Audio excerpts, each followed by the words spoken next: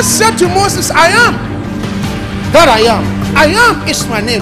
Yahweh is my name. Jehovah is my name. Now, all those title names tells us what God is capable of doing.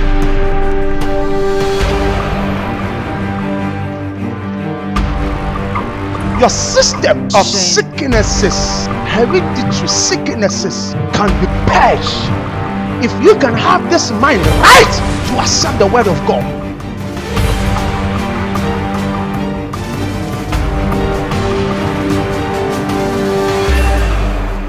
Well, I'm so excited that you made time again to tune in to Destiny Line, your popular religious broadcast that brings you good teachings that is able to lift your faith high, to meet the demands of heaven, and to assess all that you need to assess.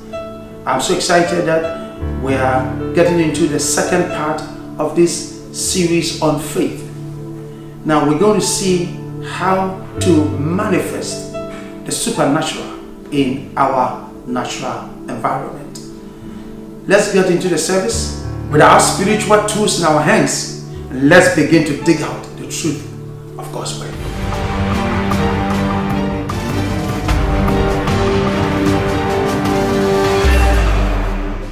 Hallelujah. Come on, give Jesus a better clap offering. Amen and amen. Hallelujah.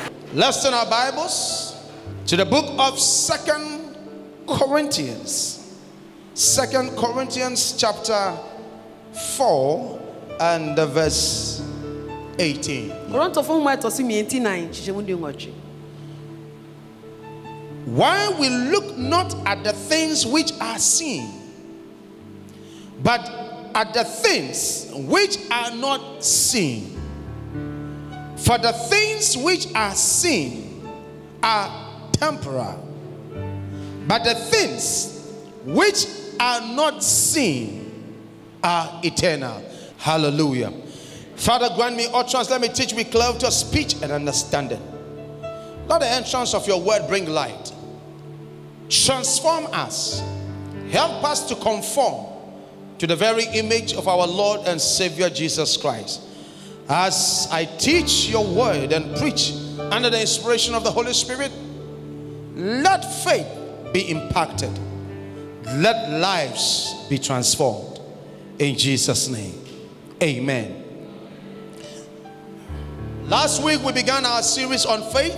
ne na wɔtwe yɛhyɛ gyidi nkyerɛkyerɛ ase And what I tried to do last week was to help us to understand that for you to perfectly operate in faith, you need to understand the two worlds.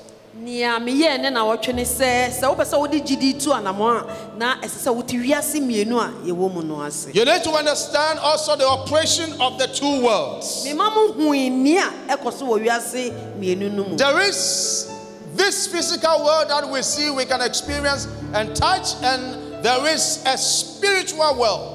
Yɛwɔ honam so wiase ɛna yɛwɔ honhom mu wiase. There is a world where only spirit dwells or live in, and there is a world for physical bodies. yɛwɔ wiase a honhom mufo nko ara na ɛtena mu ɛna yɛwɔ honam so wiase a Out of two worlds, they have their limitation, just as physical bodies that you have cannot live or dwell in the spiritual realm. In the same way, we cannot have spirit beings dwelling with physical beings here on earth. ne nyinaa wɔ nea ɛyɛ sɛnea honam so nipadua yi ntumi ntena soro no saa ɛna soroni no nso ntumi ntena asase so a And in both worlds, be it spiritual or physical, there are things honhom ɛɛ eh, wiase mmienu yi nyinaa no nneɛma ɛwɔ mu There are things in the spirit world, nneɛma ɛwɔ wiase and there are things in this physical world. ɛna ɔhonam mu wiase nso nneɛma wɔ mu. The Bible says that for us to walk in faith, we need to understand this scripture we just read. twerɛsɛm sɛ sɛ yɛbɛnante wɔ gyidi mu di a ɛne te twerɛsɛm a yɛka While we look not at the things which are seen, abere a wonhwɛ nneɛma a wohu but at the things which are not seen. na mmom wohwɛ nea wonhu no For the things which are seen are temporal, nea wohu no ɛnhyɛ na afi hɔ but the things which are not seen are eternal. na nea wohu no ɛte hɔ daadaa That scripture tells us every seeable thing has an expiring date. kyerɛsɛm yi sɛ biribi biara a wohu no ɛwɔ berɛ a ɛdu a Can I talk to somebody here? so mɛtumi akasa akyerɛ obi That means that the sickness that has been diagnosed by the doctors has been seen. And if it has been seen, it is temporal, it has an expiring date. woyare no a dɔkta ahwehwɛ mu ahu no ɛkyerɛ sɛ ɛyɛ biribi a ɛrenhyɛ ɛwɔ berɛ a ɛbɛfi wɔ akɔ In other words, that thing has no legal or spiritual right to live with you permanently. ɛkyerɛ sɛ ɛni huhu mu kwan sɛ ɛne wobɛtena The pain you experience, woyaw a wofa mu no all the troubles you have in this life, wohaw a wowɔ wɔ abrabɔ so ɛyɛ by the principle of the word of God and spiritual mandate, they have no right to be permanent in your life. sɛnea nyame asɛm nhyehyɛe te ɛne huhu mu asodi no wɔnni I wish somebody understood what I'm talking about. Mu. nyaayɛ anka wote ma It means that ɛkyerɛ sɛ if you think you are going through enough problems or troubles, wodwen sɛ wofɔ ɔhaw dodo mu a something must go. ɛsɛ sɛ biribi hu sɛ Either you go or the trouble go. sɛ wo bɛkɔ anaa ɔhaw no bɛkɔ But as a child of God, woyɛ nyame ba yi you must survive that thing. ɛsɛ sɛ wotumi And that problem, because it has a expiring date,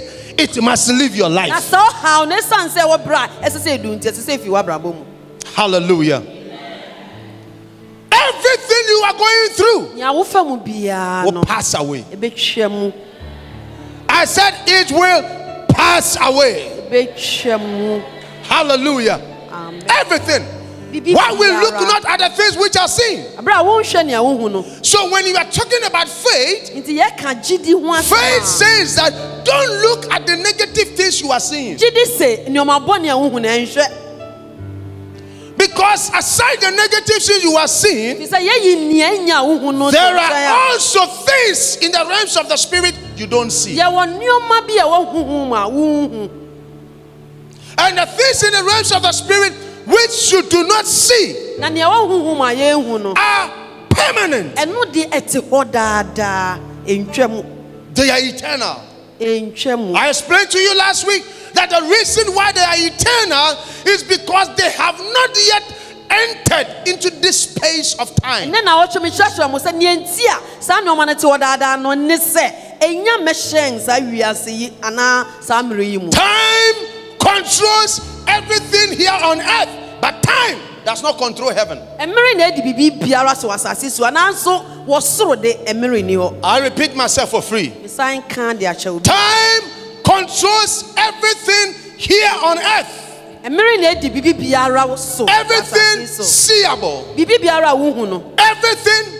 touchable, biribi biara a wotumi so mu no everything you can smell, biribi biara a wotumi hwan no everything you can touch. nea wobɛtumi aso mu In short, everything you can experience here on earth is being governed by time. osuahu anaa biribi biara a wɔ so no ɛmmere ɛna In fact, even the earth we live on is governed by time. nokware ne sɛ mpo asase yi koraa no It's the reason why the. Bible said the heavens and the earth shall pass away. ɛde nti na nyame se ɔsoro ne asase bɛtwa There is one thing that does not pass away, ade baako yi na ɛntwa mu da and that is the word of God. ɛno ne nyame asɛm And I will explain to you why. na mɛkyerɛ wɔ ase ne ɛnti a Hallelujah. I said hallelujah. So when we talk about faith, nti yɛkasa fa gyidi ho a faith is a spiritual walk.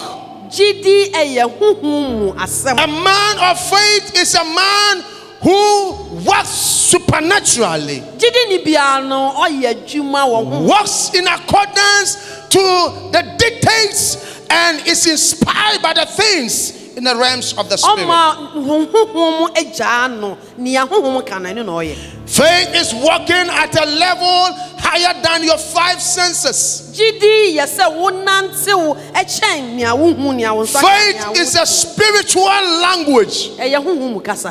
Ɛyɛ honhom mu kasa is a spiritual sense and not the physical senses we have. ɛyɛ huhu mu nyansa nyɛ ɔhonam so nyansa With our five senses, abere a yɛate nka nnum yi we relate to this world. ɛno na yɛnam so de bɔ yɛn bra wa But how to relate to the spirit world is by your faith. nanso gyidi ɛna awo ne wiase huhu mu wiase Somebody say, My faith.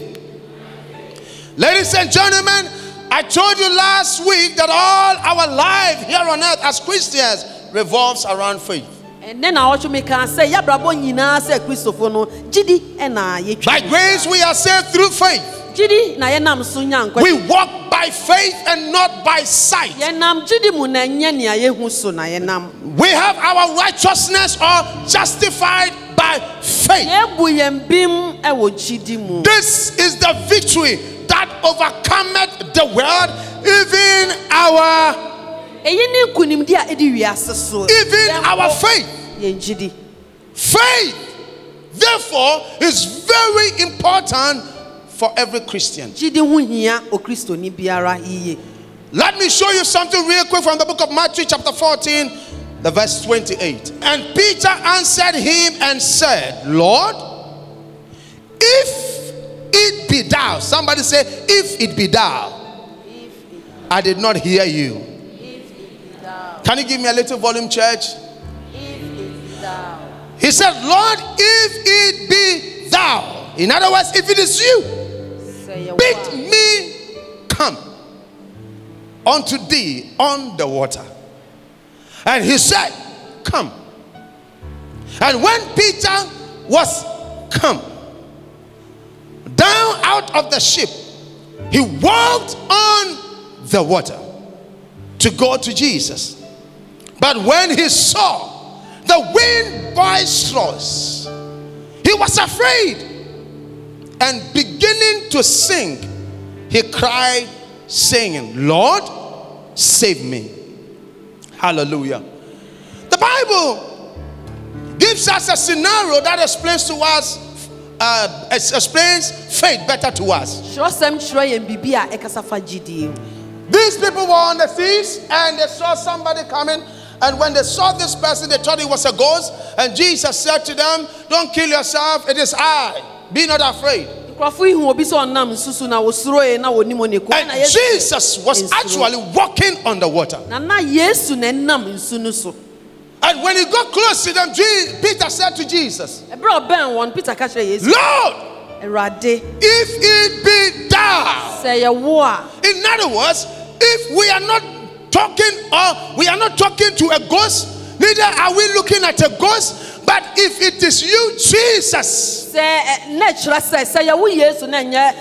if it is you, Jesus, then me, ask me to come to you on the ɛndeɛ water. bisa me na memmra wo nkyɛn That simple statement, if it be thou, saa asɛm tia no sɛ yɛwo a is a statement of faith. ɛyɛ gyidi anammɔn In other words, ɛkyerɛ sɛ if it is not a ghost, sɛ ɛnyɛ ɔsaman if it is not a spirit we are looking at, ɛnyɛ honhom na yɛhwɛ a but it is you, na Jesus, sɛ yɛwo yesu deɛ a then ask me to do the impossible. ɛnde ma menyɛ nea ɛntumi nyɛ If yie a ghost asks me to do it, sɛ ɛyɛ ɔsaman na ebisa I will ɔsɛ fail. mɛdi nkugu If a spirit asks me to come, sɛ honhom na ebisa me sɛ memmra I will drown. But if it is you, Jesus, sɛ yɛwo yesu deɛ if you ask me to come, ɛna wobisa me sɛ memmra I am safe ɛnde na mewɔ banbɔ and I will not drown. It was a statement of faith. ɛyɛ gyidi asɛm If it is only you, Jesus, ɛyɛ wo yesu pɛ then I can do the impossible. ɛna mɛnam wo so atumi I love the setting of the scripture. Peter answered, If it be thou, if it be thou, bid me come.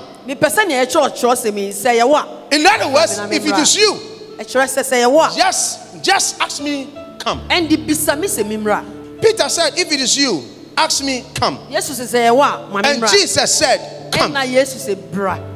And when Peter was come down yesu out of the ship, he walked on the water ɔnantew nsu no to go to Jesus. ɛkɔɔ yesu nkyɛn Peter was in effect saying to Jesus, nea na peter ka ni If it is only you, sɛ yɛwo nko ara deɛ a then give me a word. ɛde mama asɛm no. If you ask me to come, wobisa me sɛ memmra a and if you can give me a word, sɛ wobɛtumi ama me saa asɛm no I nko know ara, that no matter what is surrounded has surrounded us, I can come based on your word. ɛmfa ho ne atwa yɛn ho ahyia. Mɛtumi aba ɛsiane w'asɛm nti. That word come saa asɛm no bra no is a word of faith. ɛyɛ gyidi asɛm It's a word of faith. Somebody say a word of faith. obi nka sɛ gyidi asɛm I did not hear you. A word of faith.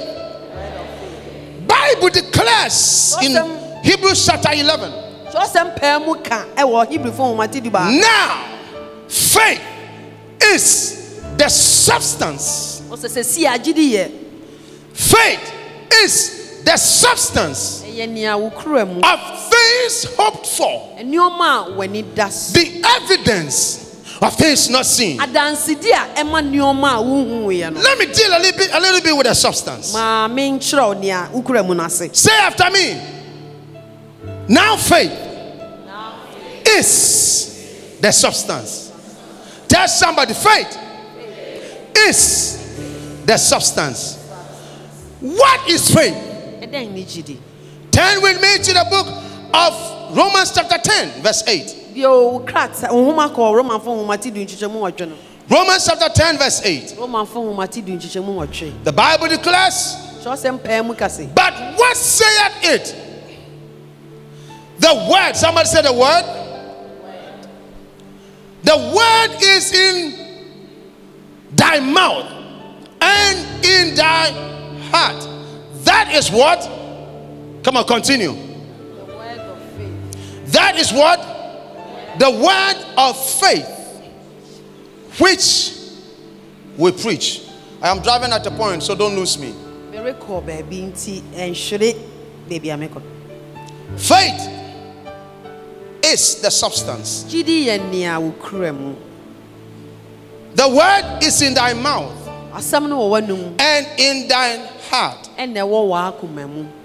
which is the word of faith nea ɛyɛ gyidi asɛm no that which preach. a yɛka kyerɛ mu no So faith is the substance, gyidi yɛ nea wokura mu and faith is the word ɛna ɛyɛ asɛm which we preach. asɛm no a yɛka no Are you getting me? so wote m'ase Come on, talk to me. Do you understand what I'm talking about? wote nea meka no ase Faith is the word.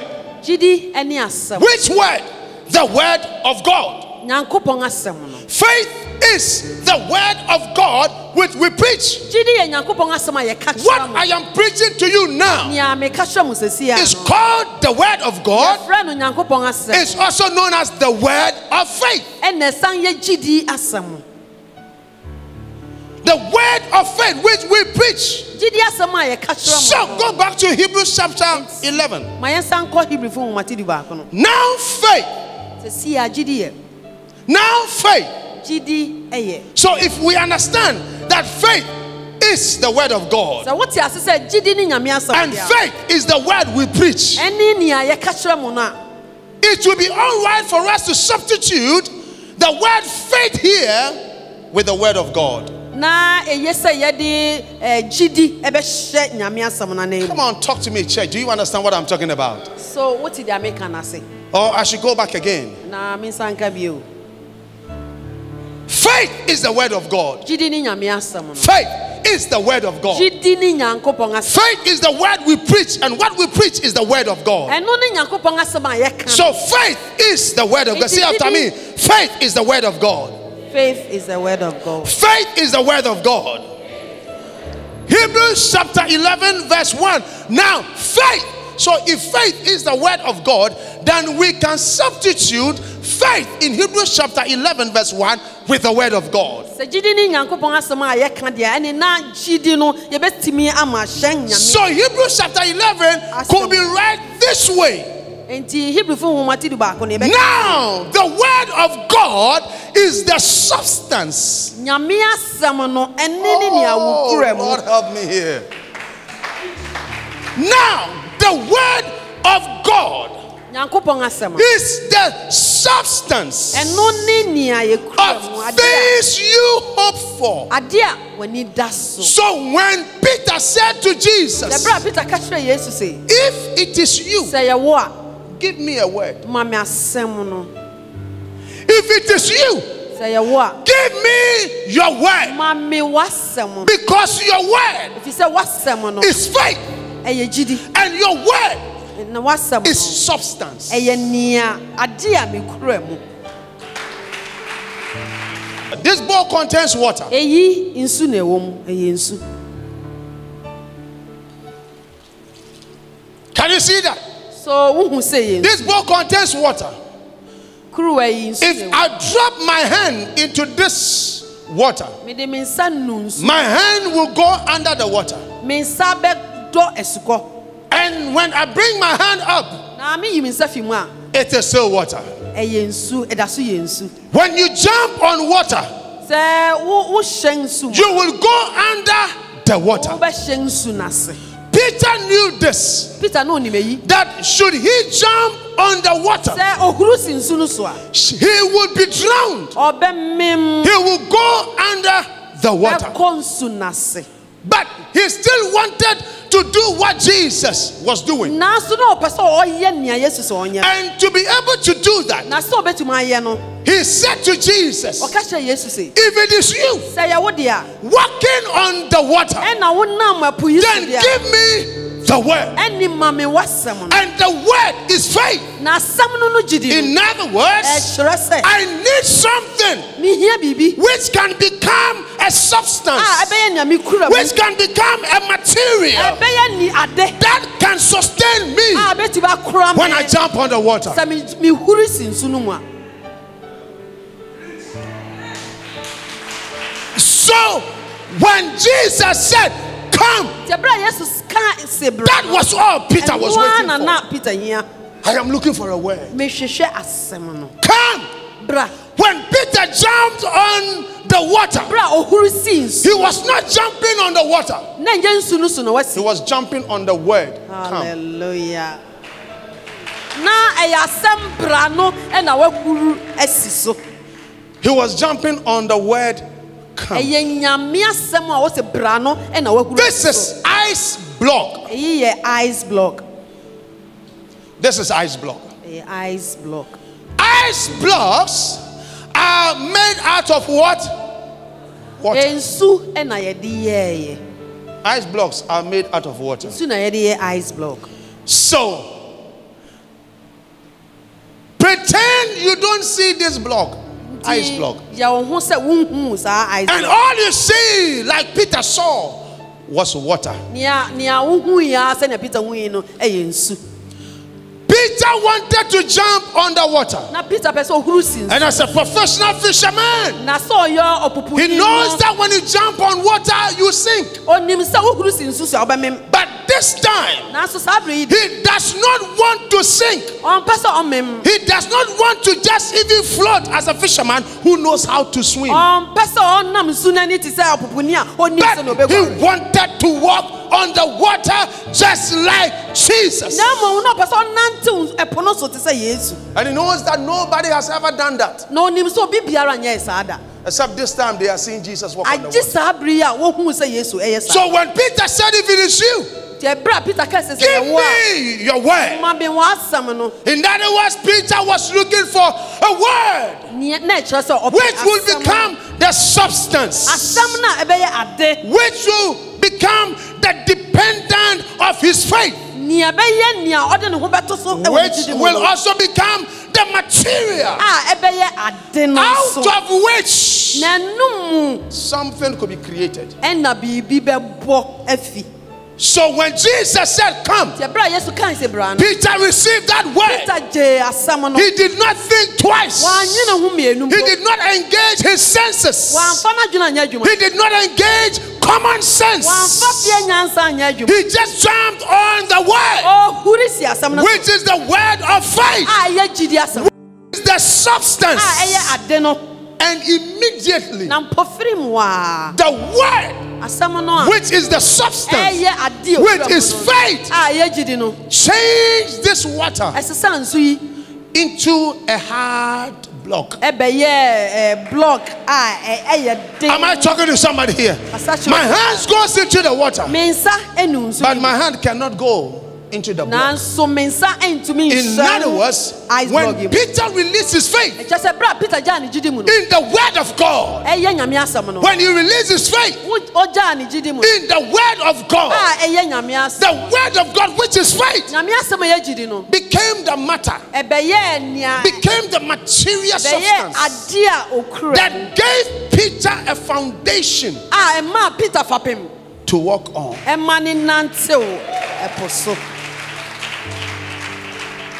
Ɛma ne nantew Faith gyidi simple means na se kyerɛ tiatia ne sɛ superimposing over the physical with the realms or with the things in the realms of the spirit. sɛ nyame de n'ahoɔden ɛbɔ wura ɔhonam so ahoɔden. Faith is superimposing on the natural. Ɛyɛ sɛnea nyame de n'ahoɔden ɛ- ɛbɔ or wura on the natural things anaa ɔhonam so. with the things in the realms of the spirit. ɛwɔ nneɛma a ɛwɔ honhom While we look not at the things which are seen, nneɛma a yɛhu no but we look at the things which we don't see. na mmom yɛhwɛ nneɛma a yɛnhu no So there are things in the natural, there are things in the spiritual. nti yɛwɔ nneɛma wɔ asase so a ɛna yɛwɔ So nneɛma wɔ faith- soro. Nti gyidi It's superimposing, ɛyɛ nea soro ɛ- ɛbɔ wura dominating and controlling asase so the things T H I N G S. nneɛma Things we see here on earth. Wɔ asase so with T H I N G S. Things in the realms of the spirit. ɛne nneɛma a ɛwɔ soro So faith says that nti gyidi sɛ I see things in the realms of the spirit, nneɛma ɛwɔ honhom mu and I see things here. ɛna mehu nneɛma wɔ The things I see here, nneɛma a mehu wɔ ha no I don't like it. Mempɛ I want to change it, mepɛ sɛ mesesa. But to be able to change it, nanso sɛ metumi asesa no I must release my faith ɛsɛ sɛ megyaa me gyidi to mu assess things na menya nneɛma in the realms of the a spirit ɛwɔ honhom mu no. to overshadow, to dominate, to control na ɛbɔ wura nneɛma a ɛwɔ the asase sia no. things in the natural ɛso. or the things I see.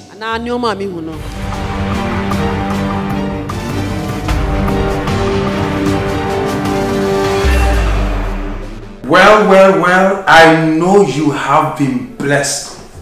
I told you that we are going to dig out the truth. That is what we know to do.